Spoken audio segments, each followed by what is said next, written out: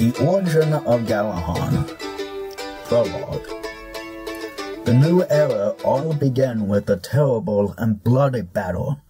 The person who was the cause of this long bloody battle was a malevolent king. His forefather had named him Urlok. Urlok ruled over a chain of islands with a massive army that he commanded with ease and absolute power. He was a massive man with dark forest green chiseled skin, deep crimson hair that was slicked back and ran low down his back. It was late as he stood in silence. His dark blue eyes were transfixed on a particular island far into the distance, but still within seeing range. It was the island of Windfall, which was ruled by his twin brother, an elven king named Saigon. The reason for Urlok's rage towards his brother was that Saigon refused to hand over his throne to his brother. Even though Urlok was in fact of royal blood and was the rightful heir to the throne of Windfall, though Saigon was within reason for withstanding his brother's advances for the throne, Saigon could see the evil that dwelt within his brother's heart. When Saigon refused Urlok's ascension to the throne without any hesitation, Urlok became enraged with his brother's actions and betrayal. He declared war on Windfall. Though during this time of tragedy and horror, life goes on and a child had been born, Per the usual, the father of the child was overjoyed when he was blessed with a healthy and strong son. The father could not allow his child to be raised in this time of war. Take our child and go, said the father. But where, where will we go? I do not know. Somewhere far away from this place. I will not allow my child to be raised during the warfare. I must stay. But why, why you? The mother sobbed. I have to. I'm the general of this army, and I will lead the king's army to victory. Please come with us. I can't. It's not fair for our son to be raised without a father, the mother said, still sobbing.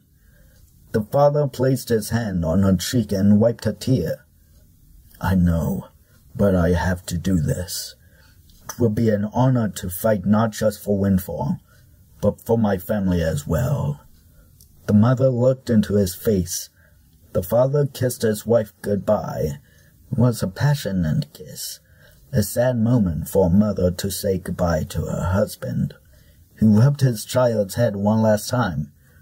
Goodbye, my son. Gallahon Darkos. A name he gave to his son, a name of a true hero, the name of the father, the perfect name for a son.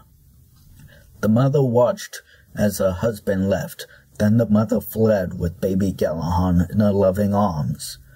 The mother had got on horseback with the baby still in her arm. She put her one hand on the strap and rode off. Dark clouds were dark clouds were beginning to form in the sky, a loud clash of thunder filled the sky. It had begun to rain, heavy rain. The king's army marched towards the enemy as Gallahon led the king's army into battle. The ground was muddy as the soldiers plunged their footprints in the muddy ground as they marched. The king's army had about five hundred soldiers, but the enemy outnumbered them with eight hundred. And so the great battle of Windfall had begun. All right, man, we fight for glory, and if we die, we will die for honor, shouted the general. Gallahon had raised his sword above his head. Fire! Archers from the front of Saigon's army fired their arrows, some with fire burning on the tips of the arrowheads. A great number of Urlok's army was shot down, but they just kept coming. King Saigon's archers stood their ground while the rest rushed into combat, screaming out with their battle cries. King Urlok watched the battle from a cliff with a son of his own named Airlock, whose face resembles that of his father's. The two armies came at each other with swords, battle axes, and war hammers. The mother rode hard with the baby in her arm. As she rode, she was unaware that she was being chased by raiders on horses. She had soon made it to the shores. She quickly got off the horse and put the baby in the boat. As she was getting on the boat, one of the raiders grabbed her from behind. As she was struggling to get free, another came up to her with a dagger. As he plunged the dagger forward, she got free and the dagger stabbed the raider. Luckily, she never goes unarmed. She pulled out two hidden blades from her sleeves. The raider clashed his dagger against her blade, and she stabbed him with the other. The blood oozed out of his stomach. Another raider came to the boat and grabbed the baby. The mother swooped around and plunged her blade right through him, with the baby still in his hands. The mother put one of her blades away, swooped around him, and grabbed the child. She pulled out the blade and put it away as the raider's body fell to the ground. She saw that more raiders were coming, and she quickly got in the boat with the baby and shoved the boat offshore. They were safe. The mother had set her course for Crystal Rock, Windfall's sister island, at least on Crystal Rock, they would be safe. Three years of the war had passed, and King Erlock had finally come face to face with the general. General Darko stood his ground with sword and shield as Erlock put out a sword and mace ball. You must be General Darkos, the one leading my brother's army. I'm going to enjoy spilling your blood. The duel between the general and Erlock took place on the highest cliff in all of Windfall, in the rain. General Darkos charged at him with his sword. Erlock blocked the incoming swift of Darkos's blade. Erlock kicked him back and swung his mace down with massive force.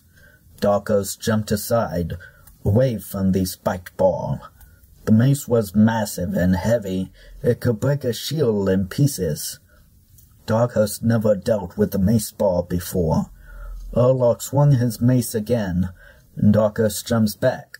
Darkos charged in with his sword.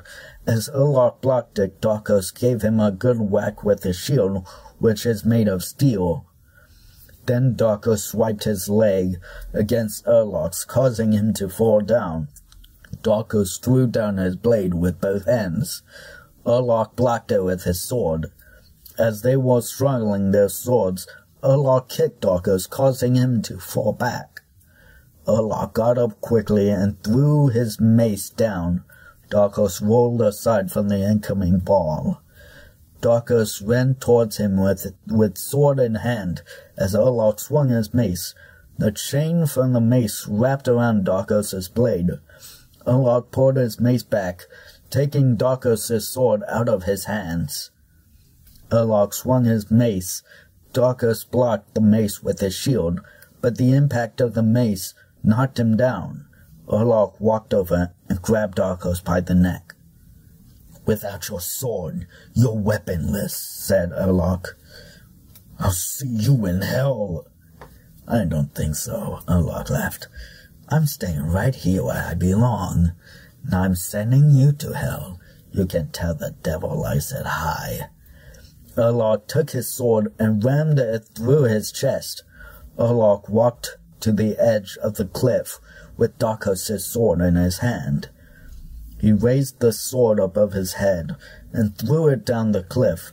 The blade plunged into the ground. Erlock may have won this battle, but he, he is nowhere near winning the war.